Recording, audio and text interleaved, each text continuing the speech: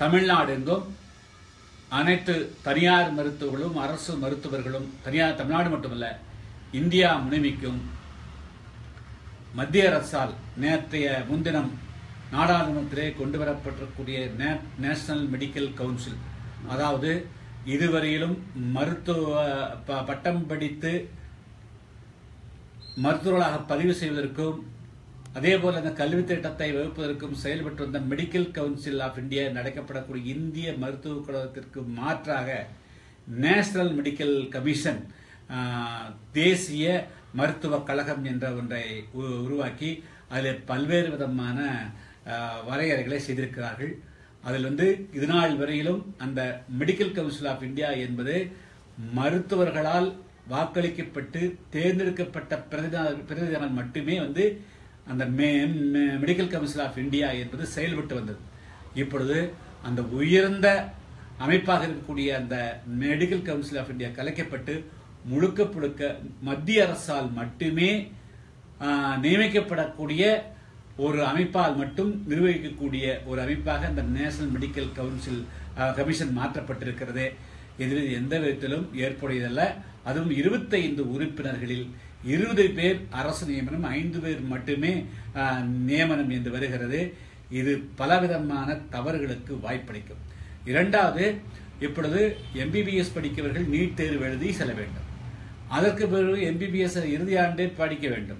ஒரு வருடம் கூடுதலாக வந்து பயிற்சி மருத்துவராக படி வேண்டும். அதற்கு பிறகு இப்பொழுது வந்து நேஷனல் தேசிய அதாவது இந்த இன்னொரு தேர்வை எழுதி மட்டும்தான் அவர்கள் வந்து மருத்துவர்களாக ஆக முடியும்.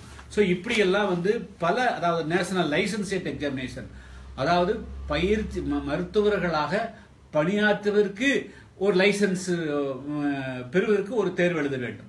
இப்படி பல கட்டமான தேர்வுகளை வந்து வைத்திருக்கிறார்கள். ஆனால் எம்பிபிஎஸ் படித்து வரக்கூடியவர்களுக்கு இத்தனை சட்டங்களும் திட்டங்களும் க- க- கட்டுப்பாடுகளும் இருக்கின்றன. அதே சமயத்தில் ஒரு ஹோமியோபதி படி மருத்துவ வரக்கூடியவர்கள் பிரிட்ஜ் கோர்ஸ் என்று ஒன்று மட்டும் படித்தால் அவர்கள் உடனடியாக அலோபதி மருத்துவம் செய்வதற்கு வாய்ப்பளித்து விடுகிறார்கள்.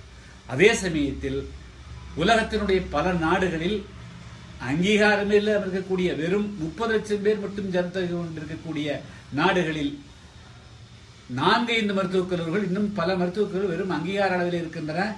மருத்துவமனைகள் இருக்காது. அதே சமயத்தில் மருத்துவ ம- கல்லூரிகளும் சரியாக இருக்காது. அங்கெல்லாம் பட்டம் பெற்று வரக்கூடியவர்களுக்கு இதுவரையிலும் ஒரு நுழைவுத் தேர்வு என்று மத்திய அரசால் நடத்தப்பட்டு வந்தது. அந்த தேர்வும் இல்லாமல் இப்பொழுதெல்லாம் வந்து நேரடியாக அவர்கள் பதிவு செய்யக்கூடிய அளவுக்கெல்லாம் ஏற்பாடு செய்திருக்கிறார்கள்.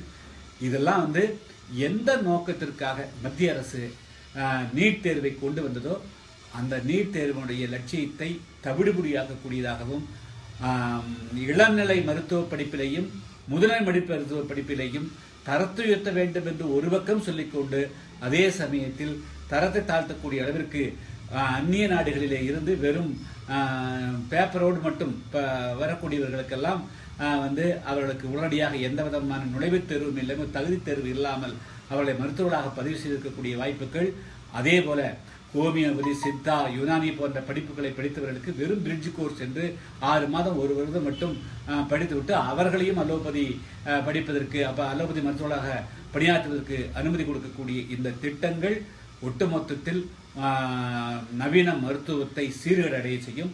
எனவே மத்திய அரசு இப்பொழுது ச- நேற்றைய வந்து நம் நாடாளுமன்றத்தில் நிறைவேற்றப்படக்கூடிய அந்த திட்டத்தை மறுபரிசீலனை செய்ய வேண்டும்.